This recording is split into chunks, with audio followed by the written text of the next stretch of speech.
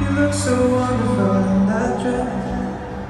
I love your hair like that.